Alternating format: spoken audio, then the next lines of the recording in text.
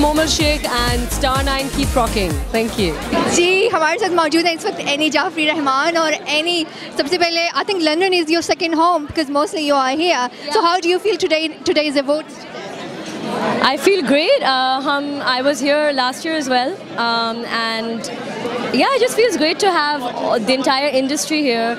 A lot of them are my good friends, and just to celebrate all of our hard work and to get all this appreciation always feels very nice. So it's great. Okay great और आपकी dance performances भी हैं आज today आज नहीं है अभी अभी किया था हम स्टाइल अवार्ड्स में मैंने कहा बैक टू बैक मैं नहीं कर थोड़ा पाती सा मुश्किल हो जाएगा आपके लिए Uh, फिर next time Okay. But I'm hosting. Any upcoming projects? Obviously, we would love to watch you in more and more films. So, आपके कोई और projects हैं film projects? So film अभी नहीं है बिकॉज़ मुझे वो वाला I need a script which really speaks to me I don't know अगर आपने बालू माही देखी है but you know Mahi's character was very strong and she drove the film और डबल कैरेक्टर भी था. I got to play Abdul Gani in the second half a boy's character तो इतना सब कुछ करने के बाद you know, the role has to be, you know, whether the film does well or not, the role has to be something very appealing. तो मैं अभी सीरियल कर रही हूँ, जो हम टीवी पे आएगा सितंबर में ही.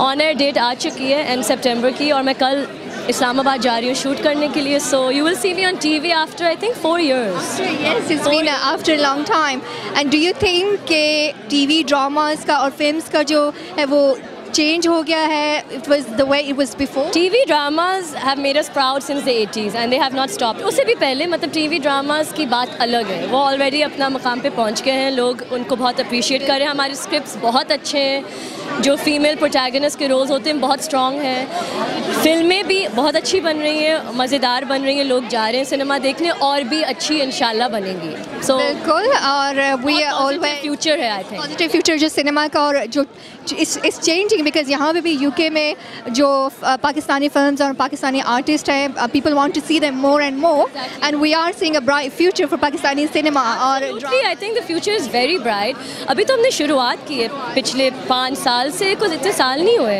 अब इन्वेस्टर्स को भी कॉन्फिडेंस आ रहा है कि चलो you know we can invest in this film they will make money and हमारे स्क्रिप्ट और भी अच्छे होंगे इनशाला बिल्कुल and you looking absolutely gorgeous who are you wearing today Come on Instagram to see the name. Okay, so I have Instagram to, so we have to see Instagram. have to follow. Ah, okay. so हमें आईनी को follow करना है ये देखने के लिए कि आईनी ने आज क्या पहना हुआ है. Thank you very much. आईनी खरीद नहीं सकती मेरे सब इसके इनके सब genuine followers हैं, so we have to follow her, everyone.